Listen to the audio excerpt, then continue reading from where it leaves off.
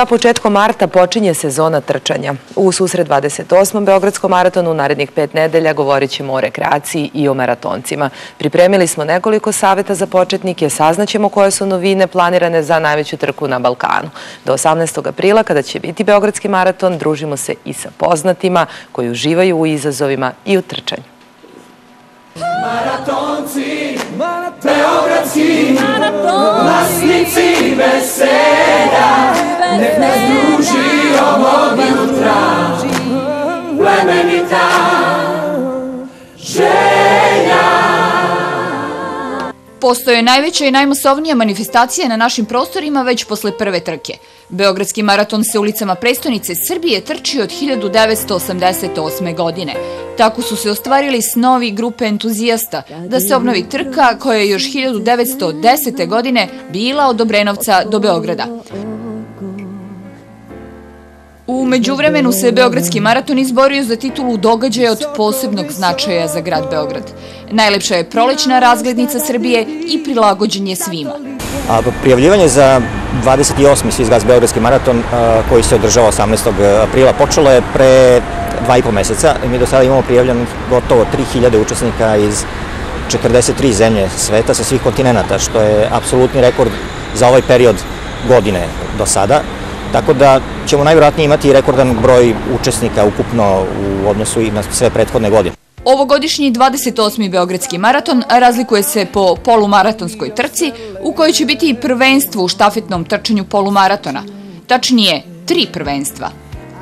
Što se novina tiče, mi smo već najavili početak rada Trkačko-rekreativnog kluba Beogradski maraton, koji je počeo sa radom u prostorijama u Makedonskoj 22, to su prostorije Doma omladine Beograda, mi gde već imamo desetine ljudi koji se svakodnevno interesuju o tome kako mogu da trče, kako da se hrane, kako da se oblače. Imamo pojedinačne i grupne treninge koje već sprovodimo neko vreme. Naravno, sve to besplatno. Za sada toliko o samom maratonu. Vreme je da počnemo sa pripremama.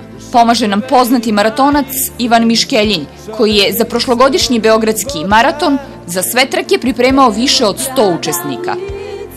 Za polumaraton nekom ko nikada nije trčao dovoljno je 3 do 4 meseca dok za maraton treba mnogo više, znači negde oko godinu dana. Uzrast je bitan, e, svi punoletni mogu da trče maraton, dok maloletni moraju da imaju e, potpis od roditelja. Ostalo je 36 dana do trke. Možda nemamo dovoljno vremena da se pripremimo za maraton, ali je dovoljno da se spremimo za trku zadovoljstva. Mekana podloga je najbolja za trčanje, ublažava udar stopala u podlogu i smanjuje moguće povrede. E, beton nije toliko e, zdrav za zglobove, preporučuje se najviše travnata podloga, e, livade, šume. Beograd ima izuzetno dobar zeleni pojas, znači imamo puno Miljakovačka šuma, Zvezdarska šuma, imamo ovde Tašmajdanski park, Banjička šuma, Košutnjak, izuzetno puno imamo zelenog pojasa gde može da se trenira. Na beton preporučujem svima da izlaze jedan put nedeljno. Već sutra, 14. marta, je prva provera za trkače. Boost Belgrade, trka koja će početi u 11 časova kod Beton Hale. Trči se do Marine Dorčol i nazad. Besplatna je i otvorena za sve koji se prijave preko sajta. Vreme trčanja počinje. U susret proleću i Beogradskom maratonu. Nek nas druži ovog jutra, plemenita